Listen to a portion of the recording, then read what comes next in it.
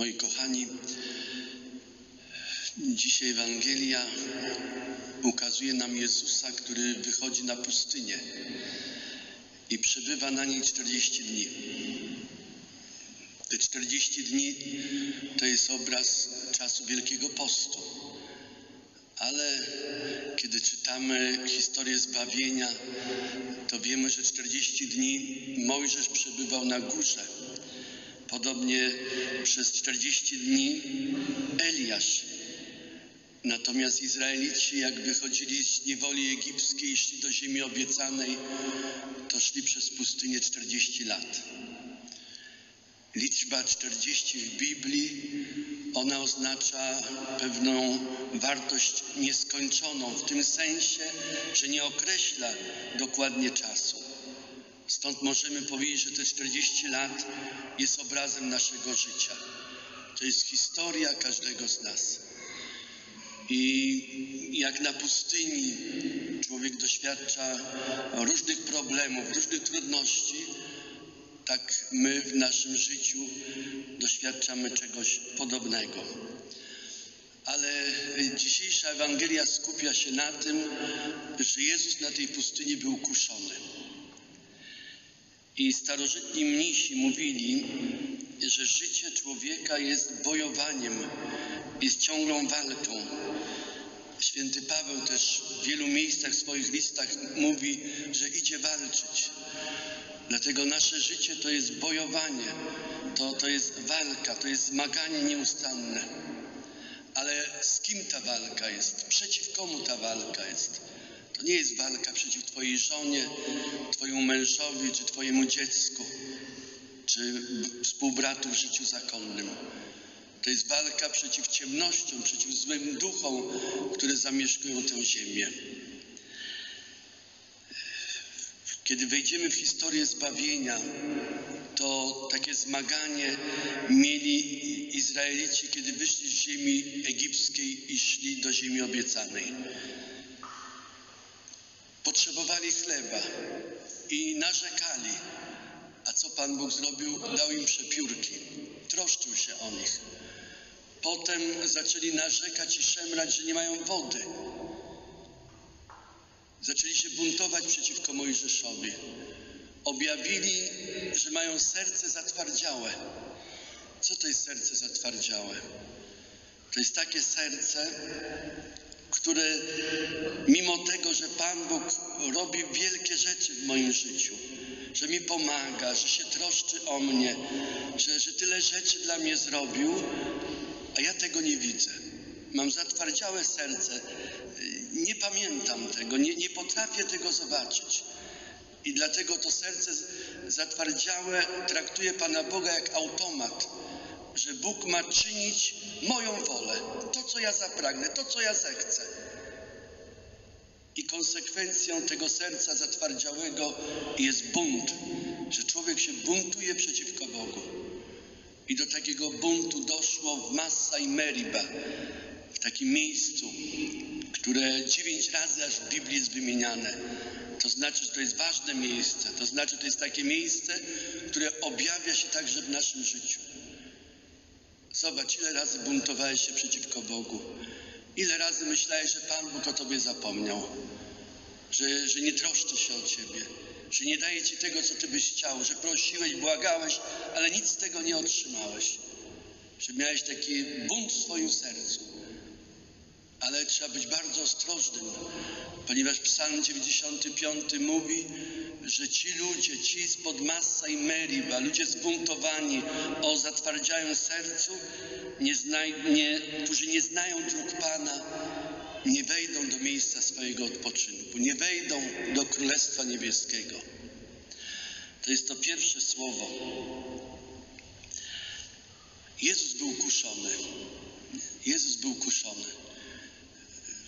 Tej dzisiejszej Ewangelii świętego Marka jest bardzo krótko opisany pobyt Jezusa na pustyni.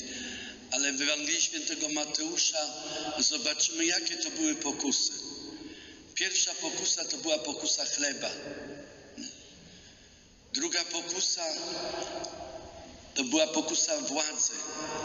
I trzecia pokusa to pokusa próżnej chwały. I ktoś z nas powie, no co to ma wspólnego z moim życiem? Jaką pokusę chleba? Otóż ta pokusa chleba polega na tym, żeby mieć zabezpieczone życie. Żebym to ja był Bogiem dla siebie samego, zabezpieczył sam wszystko. Żeby, żeby mi niczego nie brakowało. A, a najbardziej to zabezpieczenie, ono objawia się w posiadaniu, w bogactwie. I Jezus jest tym kuszony. Dlatego zobacz, każdego dnia jesteśmy poddawani tej samej pokusie. Pokusie chleba, zabezpieczyć się, mieć.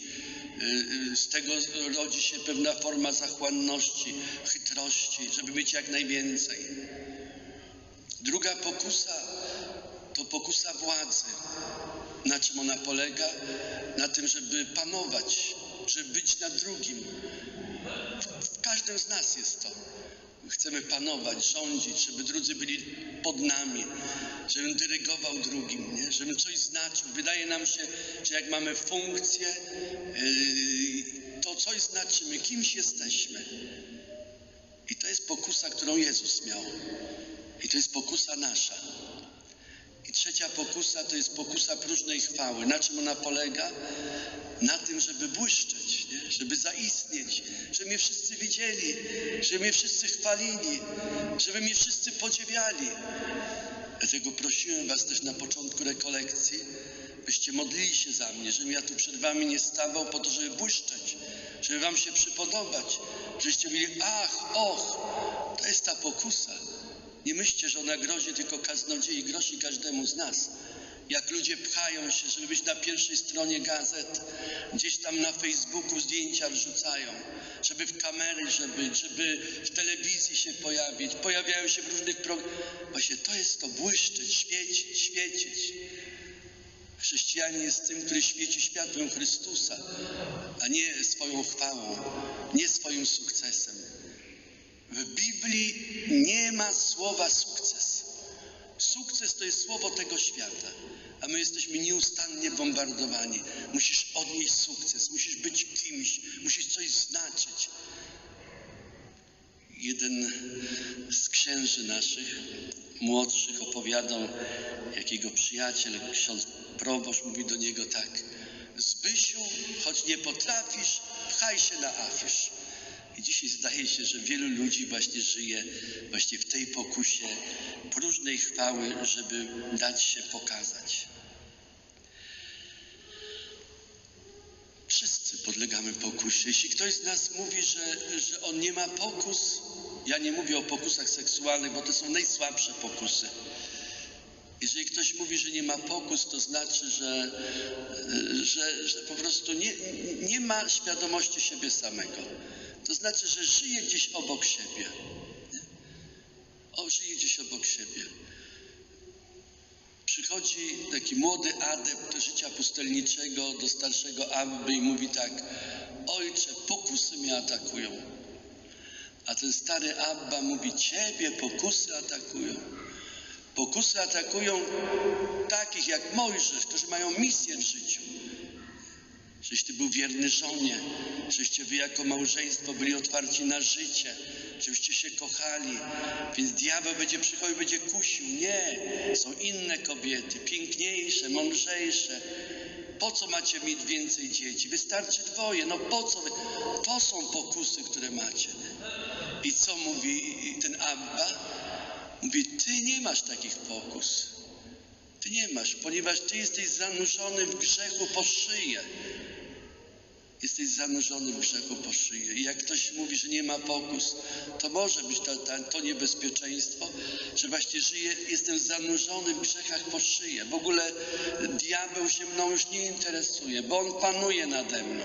On ma władzę nade mną. Dlatego nie muszę nic odczuwać, nic kompletnie. Dlatego jak ktoś się spowiada dwa, dwa razy do roku y, y, na święta jedne i drugie, to nie spowiada się, żeby się nawracać. Nie? Spowiada się, żeby poczuć się na chwilę lepiej, na święta, nie tak dobrze, że się poczuć. Tu nie chodzi o żadne poczucie się, tu chodzi o nawrócenie. Właśnie, żeby żyć z Panem, żeby być z Nim na co dzień, żeby otrzymywać od Niego moc, być napełnionym Jego łaską. Pokusa mnie dopadła, upadłem, staję na nowo. Dlatego to, to, to jest to. Ojcowie pustyni mówią, że pokusa jest jak fala morska. Otóż dla przykładu, jak jesteśmy nad y, morzem y, we Włoszech, y, na przykład, widzicie, wylatują mi nazwy, ale na pewno nad basenem śródziemnomorskim czy nad Adriatykiem i plaże mają wody bardzo spokojne. Dlaczego? Ponieważ w morzu, gdzieś 200 metrów od, od, od brzegu, 100 metrów, są stawiane takie falochrony kamienne, takie mury, takie ściany. I jak woda płynie z morza, fala płynie, to ta fala uderza w ten falochron, te skały, woda się wycisza i do brzegu płynie woda spokojna. Dlatego nawet malutkie dzieci mogą sobie na brzegu w tej wodzie być. Nic im się nie stanie. Jest płytka woda spokojna. Ale są tacy, którzy chcą sobie popływać na głębszej wodzie i wypływają przed te falochrony kamienne. I co się dzieje? Jak już są dalej w głębi morza, płynie fala duża i im się wydaje, że są mocni, silni, potrafią pływać świetnie, mają mocną sylwetkę, że pokonają tę falę. A co się okazuje, że ta fala ich porywa i rzuca ich na skałę. Może to się skończyć tragicznie. To jest sytuacja nasza. Przychodzi pokusa, a ja mówię, e, co tam? Jestem silny, mocny, dam sobie radę. Co tam moja koleżanka w pracy? No fajna kobieta. No przecież uśmiechnę się do niej, wypiję z nią kawę. Nic się wielkiego nie stanie. Albo mówi, no co tam, o, we, otworzę sobie internet, y, jakiś film, no taki quasi, prawie. Rozumiecie? Bo wydaje nam się, że jesteśmy mocni. A potem co? Pokusa przychodzi, nagle pak, no zgrzeszyliśmy zdradziłem, wszedłem w jakieś dziadostwa. To jest konsekwencja tego. A jak można inaczej? A dlaczego człowiekowi się wydaje, że on na klatę weźmie wszystko? Bo to jest pycha. Pycha mi się wydaje, że ja sobie poradzę sam. Pamiętam taki chłopiec na, na liturgii, tata mówi do niego tak, no synku, proś Pana Jezusa, żeby Ci pomógł. A on mówi tak, co będę prosił? Sam sobie poradzę. I my tacy jesteśmy. Co będę prosił? Sam sobie poradzę. Ale człowiek pokorny zachowuje się inaczej. Otóż jak jest w tej wodzie i ta fala płynie, to on nie bierze tej fali na klatę. On po prostu się uniża. Nie? Uniża się. Jest pokorny, modli się, woła, Panie, pomóż. Gdy ta pokusa jak fala przychodzi, Panie, nie zostawiaj mnie samego. Zobacz, jak jestem słaby. Ja mogę zgrzeszyć, mogę upaść zaraz. Broń mnie, chroń mnie, czuwaj nade mną. Nie? I wtedy co? Pokusa przechodzi, mija i jemu nic się nie stało. Dlatego to jest takie światło dla nas, żebyśmy wiedzieli, że kiedy przychodzi pokusa, jak mamy się zachowywać. Pan Bóg nas nie kusi. Myśmy to sobie mocno w głowę wbili. Bóg nie jest źródłem pokus. Źródłem pokus jest diabeł. Natomiast Pan Bóg dopuszcza w naszym życiu pokusy. Dopuszcza w naszym życiu jakieś wydarzenia, jakieś próby. Przypomnijcie sobie historię Hioba. Nie? Ale Pan Bóg y, jakoś y, też przy Hiobie jedną rzecz zrobił bardzo ważną. Kiedy Hiob zachorował na trąd, to całe ciało miał obsypane trądem, a tylko język był wolny od trądu. I ci, którzy komentują Słowo Boże, mówią, dlaczego miał język wolny od trądu? Otóż po to, żeby przeklinać Boga, żeby mówić źle o Bogu. Nie? Żeby miał tę pokusę, żeby tak mówić. Wiemy, że, że, że Hiob y, nie został zwyciężony. Dlatego Izraelici, jak przechodzi przez, poszli do ziemi obiecanej już, to Pan Bóg zostawił kilka narodów po to, y, żeby oni nie zapomnieli jak walczyć, żeby umieli walczyć. Tak samo w naszym życiu. Pan Bóg dopuszcza jakąś pokusę na ciebie. Może to być seksualna, jak mówiliśmy. Nie po to, żebyś upadł, nie, bo pokusa nie jest po to, żebyśmy grzeszyli, ale żebyśmy walczyli, żebyśmy nie zapomnieli, że nasze życie jest walką, ale i w tej walce żebyśmy doświadczyli zwycięstwa. I też zobaczymy, kto, kto, kto ma zwyciężyć w nas. Otóż w tej pokusie nie jesteśmy sami. W tej pokusie nie jesteśmy sami. Przychodzi pewien adept życia pustelniczego do Abby i mówi: Abba, pomy, pomyliłem. Pewien, pewien mnich ma pokusy i walczy z tymi pokusami i zmaga się z tymi pokusami. I, i, I tak mu ciężko, już czuje, że upada. I w pewnym momencie woła: Panie Boże, przyjdź mi z pomocą. Pan Bóg mu od razu przyszedł z pomocą. I wtedy ten mnich mówi do Pana Boga tak: Boże, dlaczego Ty jesteś taki leniwy? Dlaczego nie przyszedłeś do mnie od razu? Widziałeś, jak cierpiałem, jak zmagałem się, a Ty nie przyszedłeś do mnie. A Pan Bóg mówi: To ja jestem leniwy? Czy to Ty jesteś leniwy? Bo jak Ty zawołałeś mnie, od razu przyszedłem do Ciebie. I to jest słowo, pewne światło dla nas. Że jak przychodzi pokusa, żebyśmy nie byli tacy y, zadufani w sobie, że damy sobie radę, ale żebyśmy od razu wołali do Pana. Jest taki obraz San Siro i na nim, na pierwszym tle y, jest y, zakonnik, dominikanin, który jest pochylony nad Słowem Bożym. A obok niego siedzi sobie pies, ma pysk ku górze, a w pysku trzyma pochodnie. Co to znaczy? Ta pochodnia oświetla to słowo. Otóż jak przychodzi pokusa, a pies jest figurą diabła, jest figurą pokusy, to zobaczcie, pokusa nie musi panować nade mną, nie musi mnie zwyciężyć. Pokusa, czy ten pies może mi służyć. Trzyma pochodnie w pysku, żeby oświetlać mi Słowo Boże. A w drugim tle tego samego obrazu jest inny zakonnik, który co? Z psem, czyli z diabłem walczy. Jest cały pokaleczony, cały pokrwawiony. I to jest słowo, że jeżeli ty walczysz z Panem, to pokusy są ci posłuszne, nawet tobie służą. Ale jeżeli walczysz sam, to zobaczysz, że będziesz poraniony, a na końcu też upadniesz. Pokusy przychodzą każdego dnia. Cztery dni temu, kiedy zaczynaliśmy rekolekcję, to zaczęliśmy od słowa, że rekolekcje przygotowują do Wielkiego Postu, a Wielki Post przygotowuje do świąt paschalnych. I, I, że w tym Wielkim Poście jesteśmy zaproszeni do trzech rzeczy. Do, post, do modlitwy, postu i jałmużny. I zobaczcie, możemy już zweryfikować. Minęły cztery dni. Kto z nas zwyciężył pokusę w tym czasie, a kto z nas ich uległ? Kto z nas pościł w tym czasie? Kto z nas modlił się w tym czasie? I kto z nas dawał jałmużnę? To jest taka weryfikacja też nas, naszego doświadczenia z, z pokusą. Wszyscy podlegamy pokusie, naprawdę wszyscy. Widzieliśmy ostatnio też yy, poważne grzechy duchownych. Wielu mistyków mówi, że diabłu najbardziej zależy, żeby powalić księdza i biskupa.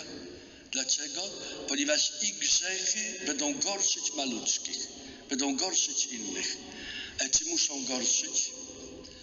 Kochani, jak ja widzę w moim życiu, jak mnie diabeł kusi i że nie upadłem tylko dlatego, że Bóg trzymał rękę nade mną, to wtedy, jeżeli patrzę nawet na biskupa, jak upadł, to będę się gorszył. No nie będę się gorszył, bo powiem, bo gdybym ja miał taką pokusę jak on, to może zrobiłbym tak samo, albo nawet gorzej.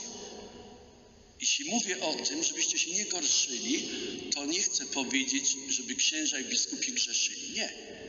Ale chodzi o to, żebyśmy mieli pewne światło, widzieli, że wszyscy jesteśmy z krwi i ciała i każdemu z nas może się zdarzyć upadek. I dlatego nie gorsz się grzechem Twojego męża, Twojej żony, Twojej teściowej, Twojego sąsiada, czy kierownika w pracy, czy kolegi w sąsiedztwie. Bo gdybyś był na jego miejscu, to może zrobiłbyś to samo. To, to jest tak, jak pewien rabin miał uczniów i pyta ich, co oni by zrobili, gdyby szli ulicą i znaleźli 10 tysięcy złotych zwinięte. I jeden mówi tak, no ja to bym wziął te pieniądze i oddał temu, co zgubił. A rabin mi mówi, głupi jesteś, głupi jesteś. A, a, a, a ty co byś zrobił? Pyta drugiego. No, ja to bym wziął te pieniądze dla siebie. Głupi jesteś. I mówi na końcu ten rabbi tak. Trzeci, trzeciego pyta, a ty co byś zrobił? A mówi, ojcze, nie wiem. Wszystko zależy od tego, jakiego bym miał ducha. Jak będę miał ducha Bożego, to ja będę szukał tego, który zgubił te pieniądze. Ale jeżeli we mnie będzie, będzie we mnie zły duch, to co? To ja wezmę te pieniądze dla siebie. Mówię, o, ty dobrze powiedziałaś, nie? Wszystko zależy od tego, jakiego mamy ducha. Jan Paweł II mówi, że wszyscy prowadzimy życie wewnętrzne. Wszyscy. Życie duchowe. Tylko zależy od tego, jakiego mamy ducha. Bo możemy mieć ducha Bożego, a możemy mieć ducha złego. Po czym odróżniać, kto ma ducha Bożego? No Duch Boży to jest działanie Ducha Świętego w nas. Jeżeli Ty usprawiedliwiasz słabości Twojego męża, jeżeli Ty potrafisz tłumaczyć swoją żonę, nie że ona jest leniwa, tylko że jest zmęczona, jeżeli Ty nie oskarżasz kogoś drugiego, to bądź pewny, że masz Ducha Świętego w sobie. Ale jeżeli Ty zaczynasz oskarżać drugiego, że ten jest leń, ten to do niczego się nie nadaje, to jest oszust, ty tylko zajmujesz się sportem, byś telewizji, co, ciągle oskarżasz, ciągle sądzisz, to z pewnością nie masz ducha Bożego, tylko masz ducha, który oskarża. A tym, który oskarża, to jest zły duch. Zły duch. Także warto zobaczyć, skontrolować siebie, jaki duch dzisiaj jest we mnie, jakie życie duchowe ja dzisiaj prowadzę. Święty Sylwan z góry Atos mówił tak: Jeżeli uważasz, że jesteś święty i że się nie zbawisz, to znaczy, że to jest działanie złego ducha. Nie? Że jesteś święty, pycha, jestem święty. Ale jeżeli mówisz, że jesteś grzesznikiem i masz nadzieję, że będziesz zbawiony, to znaczy, że w tobie jest Duch Święty. To znaczy, że w tobie jest Duch Święty. Moi drodzy, kusi nas szatan. I tak, diabeł to jest ten, który dzieli. Dzieli. Tam, gdzie jest ktoś, co dzieli, yy, co dokonuje właśnie takich podziałów, to to nie jest Ducha Świętego. Duch Święty zawsze łączy. Jeżeli małżonkowie się dzielą, jeśli odchodzą od siebie, to to jest od diabła. To jest od diabła bo Duch Święty łączy małżonków. Duch Święty daje im ducha przebaczenia, prze, zapomnienia błędów. Nie? To jest od Ducha Świętego. A jak ktoś dzieli, teściowa, jak dzieli małżon, małżeństwo swoich dzieci, to to nie jest Duch Święty. To nie jest. To jest pierwsze zadanie. Druga, y, diabeł jest określony jako kusiciel, że on cię kusi do czegoś, nie? Szczególnie kusi cię do zła. Ale trzeci diabeł to jest oskarżyciel. I w dzisiejszej Ewangelii właśnie jest ukazany diabeł, który jest oskarżycielem. Co robi diabeł oskarżyciel? On oskarża, że Bóg nie jest miłością i wsącza tę prawdę w nasze serca. Czyli co? Kusi nas, żebyśmy uwierzyli, że Bóg nas nie kocha, że Bóg się Tobą nie interesuje, że Jemu Twoje życie jest obojętne. To jest ta pierwsza pokusa. I to pierwsze kłamstwo. A druga pokusa i kłamstwo to jest taka, że grzech jest dobry. Grzech jest dobry. I zobaczcie, wszyscy ulegamy tej pokusie. No grzech jest dobry. No, no dlaczego? Mąż cię zostawił, no co by jest sama? No weź on taki fajny, przystojny facet, taki miły, no weź go sobie. Nie? Cudzołóstwo, no to jest fajne. To, to, to jest fajne. Możesz się upić, grzech, potem, no ale fajne, przyjemne. Niektórzy mówili, jakby e, lody były grzechem i zakazane, to były jeszcze lepsze, smaczniejsze. Nie? To jest właśnie to, że grzech jest czymś dobrym, że możesz grzeszyć, nic ci się nie stanie. I my ulegamy tym dwóm pokusom, że Bóg mnie nie kocha. Muszę, jestem sam na świecie, muszę sam o wszystko się troszczyć. I drugie, że grzech jest dobry. I Jezus przychodzi z jaką misją? Żeby odeprzeć te dwa kłamstwa, żeby zabrać te argumenty szatanowi z rąk, żeby nas w ten sposób nie kusił. To co? Na krzyżu objawia nam miłość. Na krzyżu jest Bóg, który kocha Ciebie, który kocha mnie. Jaka to jest miłość? To jest miłość darmowa, że ja nie muszę się starać na tą miłość, że ja nie muszę zasłużyć na nią. To jest miłość do grzeszników. Bóg kocha grzeszników. Bóg kocha Ciebie. Jak zaczynaliśmy rekolekcję, mówiłem, niezależnie od tego, kto w jakim stanie dzisiaj się znajduje. Może ktoś jest w łasce uświęcającej, bardzo dobrze, a może ktoś leży właśnie zanurzony w grzechach. Bóg Cię kocha, bo chce z Tobą rozmawiać, bo chce z Tobą dialogować. A dzisiaj na tych, koniec tych rekolekcji spójrz na ten krzyż. Tak kocha Cię Bóg. Bóg Ci nic nie chce zabierać. Bóg Ci chce wszystko dać, żebyś był szczęśliwy. I to jest to słowo, które objawia Jezus Chrystus na krzyżu. A drugie słowo, które jest tą antytezą kłamstwa szatana, że grzech jest dobry. No to zobaczmy na tym krzyżu, co robi grzech z Jezusem. Zobaczcie, jak go maltretuje, jak ciało Jezusa jest zniszczone. Nie? To jest to, grzech robi to z Jezusem i grzech robi to z nami. Zobaczcie na przykład kogoś, kto pije. Jak wygląda on fizycznie, a ruina w środku. Jak mąż, który zdradza żonę, jest niewierny w małżeństwie. To małżeństwo jest zniszczone. Grzech niszczy. Grzech jest, przynosi ogromne cierpienie, ogromne spustoszenie. Grzech to nie jest jakieś złamanie prawa, nic się nie stało. Nie. Grzech zostawia poważne konsekwencje. Dlatego Jezus mówi, grzech nie jest dobry, nie jest dobry. Prośmy Pana, aby dawał nam tę łaskę, byśmy przylgnęli do Jezusa, do Jego miłości, żeby On nas chronił i bronił wtedy, kiedy przychodzą pokusy, kiedy słyszymy od demona, że Bóg mnie nie kocha, że ja jestem nikomu niepotrzebny, bo to jest wierutne kłamstwo. I nie dajmy się zwieść wtedy, kiedy przychodzi diabeł i mówi, że grzech jest dobry, że jest taki miły, taki smaczny, da ci tyle radości i zadowolenia, żebyśmy później nie cierpieli. Panie, bądź z nami naszej pustyni, w naszym zmaganiu, wtedy, kiedy przychodzą pokusy, kiedy przychodzą oskarżenia, żebyśmy uciekali się do Ciebie. Amen.